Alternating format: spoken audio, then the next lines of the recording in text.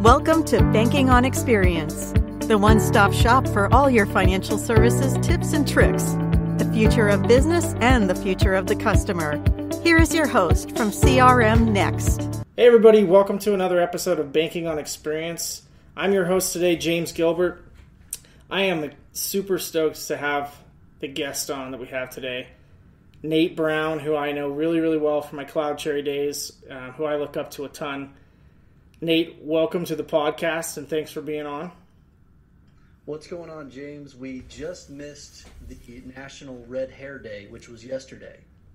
I didn't even know it was. You know, it, it was. It's funny we because we still celebrate together today by doing a podcast. Yes, we can. I'll tell you what's funny is I used to fight people all the time because they used to call me a ginger, and I, Yeah. I, I am not a ginger. Believe it or not, my beard is, but I have very blonde hair.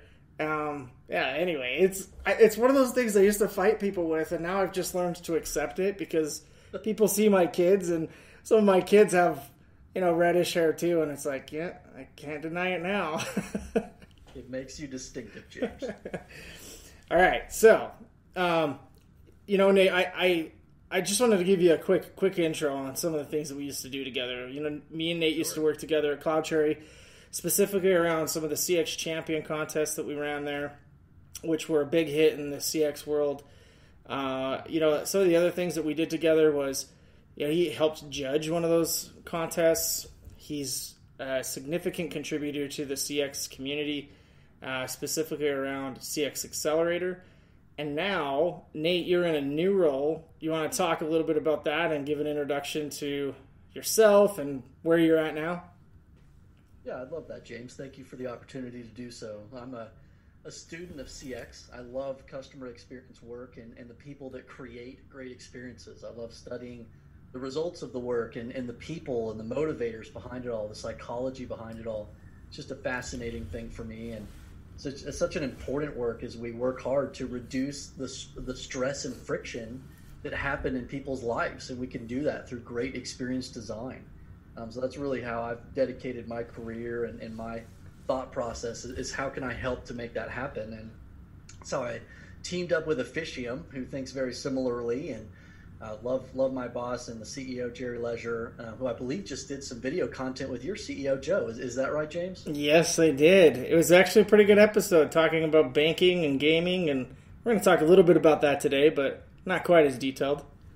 Very, cool. Well, yeah, it's a it's a great company to work for, and, and I've got a, a unique role as chief experience officer.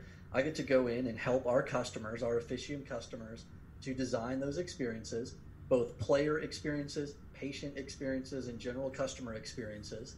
And then I also get to be a, um, a thought leader, ambassador, writer, speaker on the on the topic of CX. So it's a it's a dream job for sure. Uh, not only getting to do the work and get my hands dirty in it and learn through the trial by fire, but then getting to turn around and share the great things that I'm learning and evangelize the work of CX. I, I feel like a kid in a candy store over here. Yeah, I got to say, some days I'm a little jealous because you work in an industry that is just so much fun. Oh, I do. and, you know, being the nerd that I am, I'm a little bit of a gamer, but I'm not quite the gamer that some of the folks on my team are. I'll tell you what, we have some really hardcore gamers on the CRM Next team. Everything's a game. I mean, it's just amazing how, I mean, the gaming industry is just going to transform and, and just really become life. I mean, everything's going digital. Everything's becoming these digital experiences, and, and we're making them really fun and engaging and, and gamified. So it, it's just really fun to watch the things that are happening in, in, in the gaming space. And I mean, we're making player experience a thing. We have a really fun model that we use not only to depict that player experience, but to also be able to prove as you as you improve that experience and engage different personas of players in different ways, how that can unlock share of wallet and customer lifetime value, player lifetime value over time. Uh, so it's just fascinating work. Yeah, I think there's there's so many things that I think different verticals can learn from the gaming industry, which I you know we're going to get into that today because the the banking world and I, I would even go so far to say credit unions can learn a lot from how the digitalization of the share of wallet is is done by the gaming world. So I I'm excited to talk about that. But before we get into that, you know, Nate, one of the main roles that you play there at Officium Labs is really implementation of CX, right? And helping people build their CX programs. So, yeah, you know, I'm going to take my my hat from from CRM Next as well as uh, my experience at CloudCherry, and I'll talk through the top three things that I think are challenges. But before I do, I'd love for you to dive in and talk about what you are running into. What are the top three things that you just think, man, just about everybody is worried about this or not quite sure how to handle it? Yeah, that's a great question. And, and I think one that really pops out in my mind is that customer experience has morphed into a, a bit of a, a, danger zone for a lot of companies. And, and sadly, the failure rate of many CX initiatives is very, very high by, by several models and analysts. It's pushing over 90% failure rate of CX initiatives to demonstrate real value, and prove the ROI of their work. So it's time to throw out that old playbook for sure and to focus in on the things that we can be doing together to make the results stick and to motivate people towards creating better customer experiences. And in my mind, it's all around change management. And we seem to have kind of deviated from a foundation of that and a knowledge that we had in the past around change management, going all the way back to John Kotter and leading change and just these great principles that, that we had that would guide us in the past with our major transformation initiatives and uh, and CX has kind of become its own little zone and function, which which can be powerful and helpful in some contexts, but in other times it's actually it causes a big problem because it's almost like the burden of the customer experience and, and doing the work of CX gets sequestered into this little team, this little peripheral team inside of a, a larger organizational uh, in, infographic. So how can we take that, unpack that, and and start to unlock customer experience inside of all these other divisions, and to make the work of CX the the burden, the privilege, the responsibility of all of these leaders, where we get to help them and guide them in their strategy, but the work becomes their own, which which is much different than just pushing it off into a, a little division over here. Yeah, completely agree. You know, we ran into this all the time at CloudCherry and that mm-hmm. was the fact that people would become a champion of the project of you could call it a project or you could call it an initiative um, of a CX implementation. And they'd get super excited about it, and we'd have this champion on board. But then they'd go up funnel to try and get all of the data points and all the points in which they need to connect a digital experience. And then they'd run into marketing, and marketing would be like, "No, we kind of do things our own way. Yeah. then they then they'd run into sales. Well, we don't really get feedback with customers while we're in the middle of a sales process. And then they'd run into customer success. Well, we don't really have a closed loop with sales and marketing. so I mean, it's just this siloed approach that, that has always ran into it. And I I truly believe one of the big challenges that everyone faces is that you have to start internally first. Uh, I just just from the from all of the people that we ran into and all the people we talked to it's really an, an, employee first mentality and then it expands into the customer and i think that in order to get the right alignment i do think you have to have the highest level of management be seeing that as a complete value to the business moving forward and if they don't see it it's going to be a tough sell yeah i mean you, you almost have to have that executive level being the one who's who's pushing it forward and saying this is going to be a long-term priority for the business. Otherwise, what you do have is that short-term shiny penny thing that'll happen, the quarterly shareholder model, where you might have a, a moment in time where people say how important customer experience is, but as soon as you miss a revenue target or, or some other major transformation creeps in as a priority, CX just immediately gets pushed onto the back burner.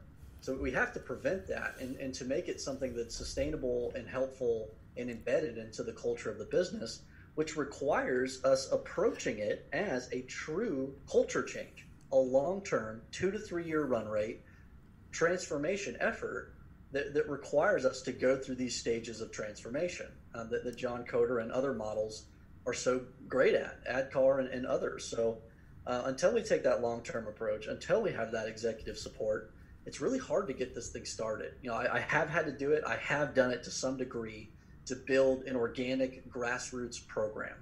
Uh, but it's it's hard work, and it, it's hard to really prove the value of that work and to be able to show uh, identifiable results that really stand the test of time, um, unless you have the, the fertile ground where CX is ready. So I mean, that's one of the first things that I'm, I'm doing, James, is I come in and assess what what does the soil look like here. if we plant the CX seed, what is the likelihood of this being able to grow? And if it can't, I mean, we have a whole variety of identifiers that rocks, rocks in the soil that we need to pull out first. And and once we remove some of those rocks, we can really get into planting. Yeah, I couldn't agree more. And you know what's funny is, you know, a lot of times marketers will take the the the stance of trying to build a brand promise, and a lot of times that's where it starts. It's got to be so simplified, and uh, you know, at CRM Next we have a we have a very simple promise. We simplify work, drive growth, and deliver on experience. But we can't do any one of those without the other. So it's yeah. it's interesting. One of the things that you had mentioned, right, is is a challenge of you know people want to drive to a revenue and see the growth there, but they oftentimes will sacrifice the experience to get there. And I really think that that is a, another big challenge that people face is is helping people, especially leaders, realize that you can't have one without the other. A growth engine is only better with a customer experience engine behind it. Yeah, I mean, you're, hitting on so many things there. I mean, the, the, the whole alignment between marketing and CX is, is so important. I mean, is marketing this creating this brand promise and putting out into the world the, the experience that you're supposed to be able to deliver on, the thing that makes you unique and distinctive from every other business out there. And it's the experience then that comes and either makes that a reality and backs it up, or two, makes it just a website and just a bunch of false copy that is empty and shallow. So I mean, until marketing and CX are saying, "Wow, you know, here's here's our brand promise. Here's what we're going to do. We're going to die on this hill right here. This one. This is us." And then a strong CX function that can back that up. Understand if you're even doing that. What are the thoughts and perceptions of our customers today? Do we know do we know if we're doing a great job with this brand promise or not? And then in those friction points, in those areas we're failing, how can we work together, tap into those change management fundamentals to improve the lives of our customers? It's amazing to me how oftentimes people do not pull their customers when they're building their website, or how oftentimes when they're making changes to their website, which is really the first impression of a brand, that they don't talk to their customers about those changes like we just went through an iteration as a marketing team here at CRM Next, and I, I even just barely did a post on this on LinkedIn, and it's it's all about you know your copy needs to be simple. It needs to be simple and so simple that your kids can explain it to their friends. and if and if they can't, then your customers can't. And they certainly couldn't explain it to somebody that's higher than them where they need to get buy off or anything like that. And I think that it's a big gap that exists to your point with with marketing and CX is there's not enough collaboration that happens with the customer's eyes. You know, we have a motto within within our marketing team at CRM Next where you don't do anything unless you're looking through the customer's eyes. And we have two customers. We have sales and we have those who buy. And Understood. and that's that's something that you know we're we're practicing what we're preaching, but it's it's not easy, and it, there's certainly roadblocks, and and we haven't perfected it yet either. But it's something that I think that every organization can do. You know, have from from a credit union perspective, they should have their members be looking at their website when they're building their mobile banking experience. They should be running that through their members. You know, from a gaming perspective, you should be running players through your experiences, right? Mm-hmm. And yep, we do. Yeah, I that's that's where the bread and butter is because I, I can't tell you how many times where I go to a website and it just seems like they're talking a completely different language and world that and I've been a marketer for a long time. I should be able to understand the stuff that's on there. And I go there and I'm like, what in the heck? What are they talking about? have you ever, James, have you ever read that book, Story Brand by Donald Miller? Ooh, I haven't read that one. Nope.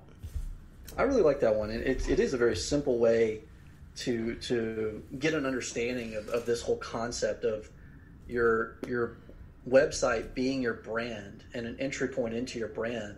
And they talk about how you know the what customer is the hero of the story. I actually think I have read this book.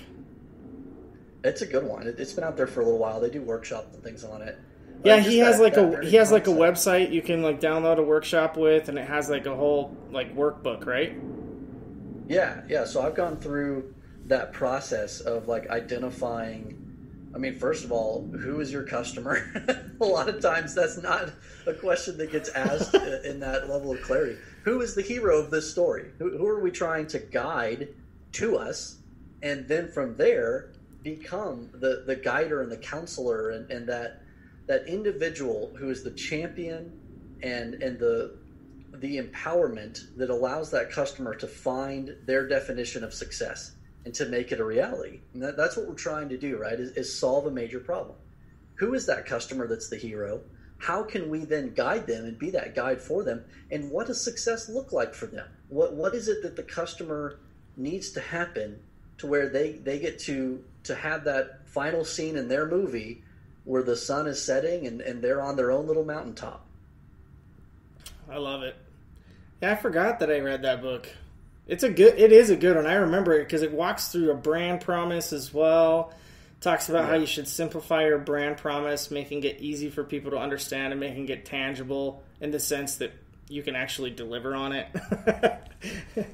uh, yeah, good points, Nate. Well, I mean, look, we talked about change management fundamentals in some in some areas. Let's let's dive a little deeper into that. What are some ways that you can, know, to your point, systematically change change management? Well, if you if you look at that John Kotter model, I mean, the first thing that you're doing is is you're you're gaining urgency around the change that needs to happen. Otherwise, you don't need to make a change. so, if, if there is a need to insert customer experience and to undergo a customer experience transformation, then you need to create urgency around that with the senior leadership team and the executives that are, that are there. Hopefully, the CEO, the, the senior leaders are helping you to do that. They already understand the urgency and they're going to help create that within the rest of the organization. If not, then your first step is to create that urgency right then and there, talking about how, I mean, looking at some of the incredible statistics around market share for those customers that lead on the Temkin and Forrester CX indexes and the market share that they are gobbling up associated with, with their with their positive CX transformations and those companies that are falling behind in the area of CX and the revenue implications that are there. And there, there's so much statistical knowledge that we can use to create that urgency around evolve or die. Yeah. Customer experience is no longer a cool option that some some customers are, or some companies are going to pursue. It's either we do this and we get good at this, or we're not going to be here. So it's, it's, establishing that urgency and then fast forwarding a little bit from there to a, a CX change coalition. Developing a change coalition is, is like number three in the Kotter model.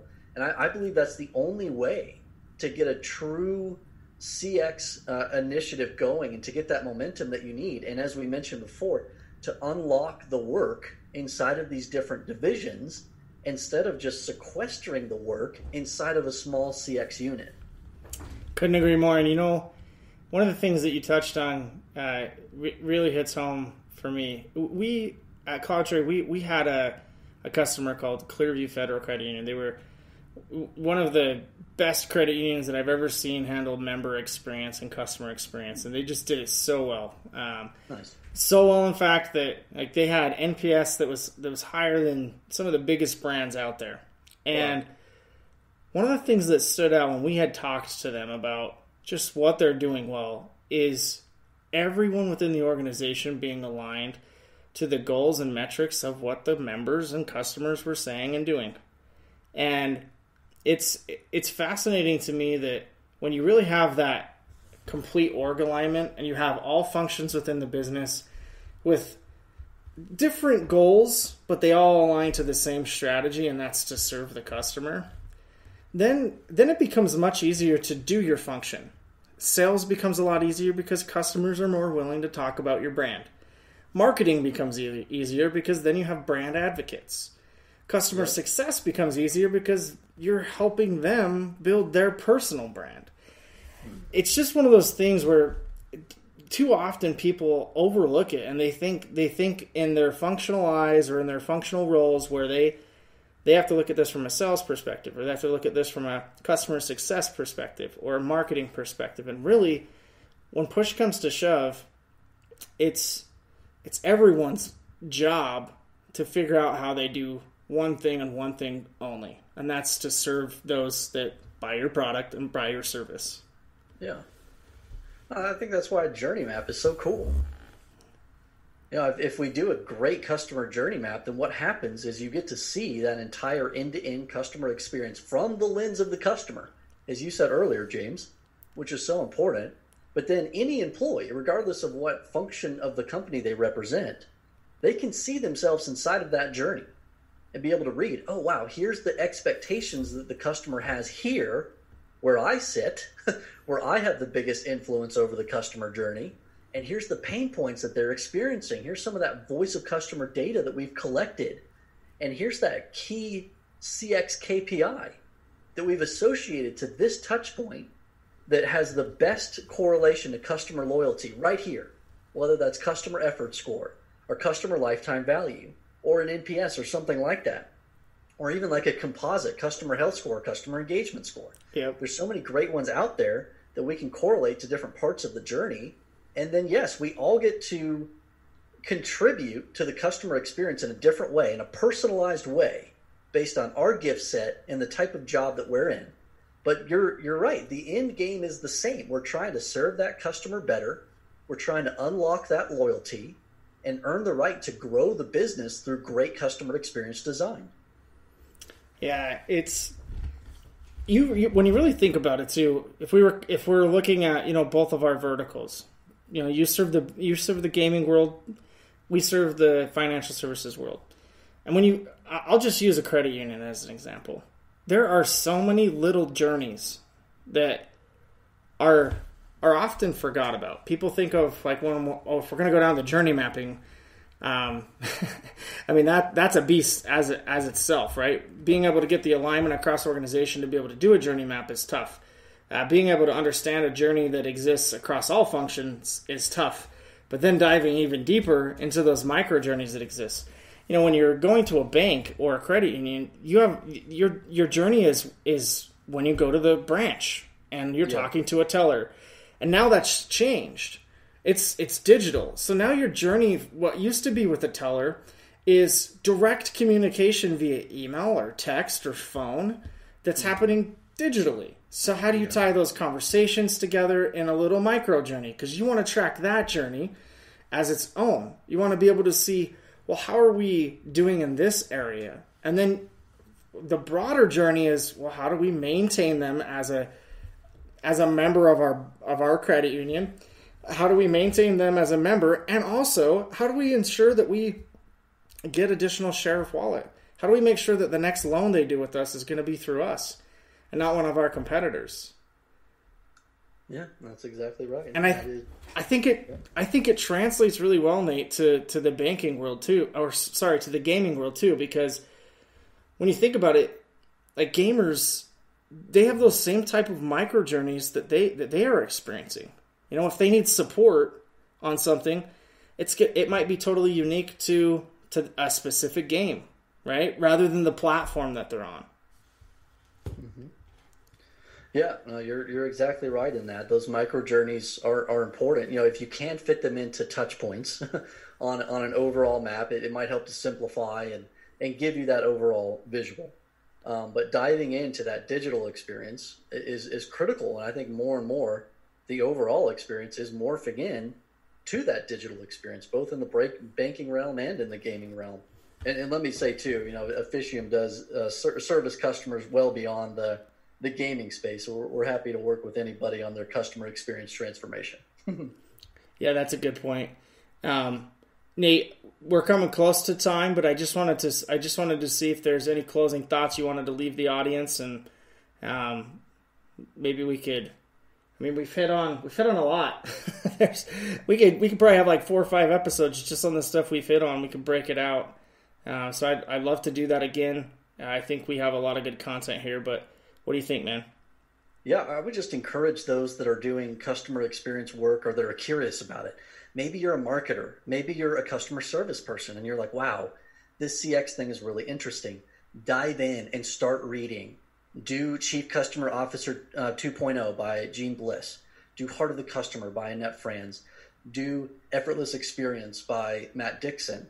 Do Fusion by Denise Lee Yohn. You know, there's some great resources that are out there that will accelerate your learning curve into this area and it will equip you to not only do your current job better, but it'll equip you into the future as we see more and more of a transformation into experience design.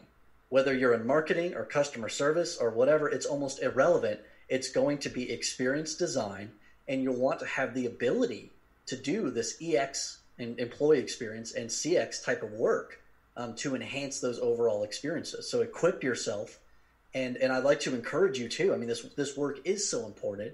It is really hard, and it takes forever to to experience success. Uh, but I mean, it, it's so important. I mean, quite literally, when we do this work well, we're, we're making somebody's life better and easier through through great experience design. So it, it's worth fighting for. It's worth fighting over and challenging yourself to excel in this area of, of, customer experience and beyond. So let me be a resource to you. Let Officium be a resource to you. CX Accelerator is another great resource to tap into. Um, just don't don't get discouraged. Everybody is challenged in doing this work because it's so holistic in nature, and there's a lot of rocks in that soil. Uh, but it's too important for us to to to lay the hoe down and to and to not keep planting.